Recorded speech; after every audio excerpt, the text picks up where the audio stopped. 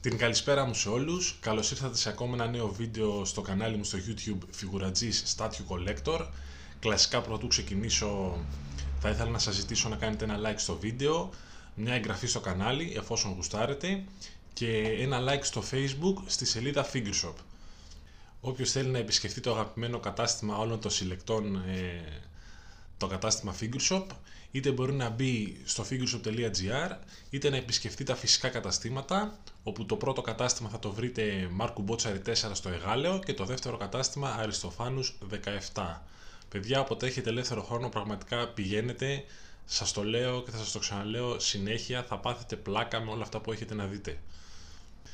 Φυσικά να μην ξεχάσω να σας πω για το giveaway που κάνουμε σε συνεργασία με τον Γιώργο τον Γουρογιάννη και το εργαστήρι του Κρεό Workshop όπου ένας τυχερός τέλος του μήνα θα κερδίσει αυτή την υπέροχη φιγούρα ε, από την εταιρεία NECA όπου έχει γίνει repaint από τον Γιώργο τον Γουρογιάννη και η δουλειά παιδιά που έχει κάνει πραγματικά δεν μπορείτε να την καταλάβετε στο βίντεο είναι άκρος επαγγελματική και είναι μακράν καλύτερη από την εργοστασιακή της κατάσταση οπότε όποιος θέλει να πάρει μέρος στο giveaway μας δεν έχει παρά να πατήσει στο browser στο facebook Figuragis Statue Collector να κάνει scroll, να ψάξει να βρει την κοινοποίηση του διαγωνισμού, να ακολουθήσει τα τρία απλά βήματα και να πάρει μέρος. Οκ, οπότε καλή επιτυχία σε όλους και η κλήρωση θα γίνει τέλος του μήνα.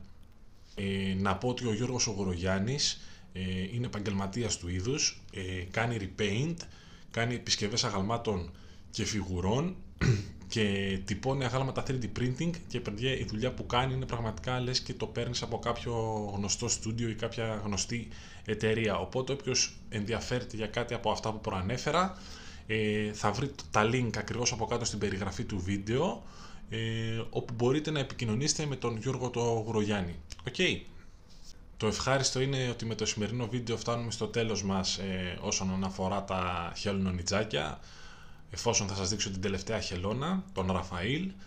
Ε, ένα, ένα αγαλματίδιο της Iron Studio σε κλίμακα 1 προς 10 όπου είναι βαμμένο στο χέρι, είναι limited edition έχει ύψος ε, 22 εκατοστά, πλάτος 17 εκατοστά και βάθος 20 εκατοστά και ζυγίζει περίπου 600 γραμμάρια.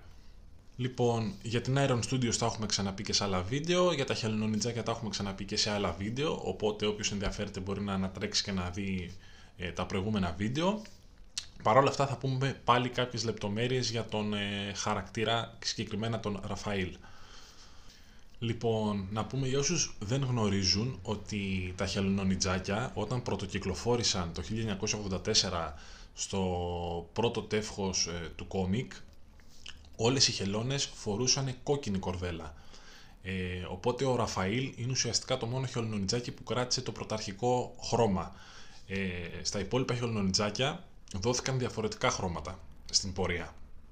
Να πούμε ότι τον Ραφαήλ τον χαρακτηρίζει η κοινική του προσωπικότητα είναι λίγο οξύθυμος, λίγο τρελαμένος, λίγο ατακαδόρος, καλαμπουρτζής, επαναστάτης και είναι λίγο οξύθυμος κυρίως γιατί έχει την αίσθηση αυτή ότι είναι η μόνη στο είδος τους, ότι δηλαδή είναι μόνο αυτός και τα αδέρφια του. Οπότε νιώθει λίγο μόνος. Αυτή είναι η όλη φάση.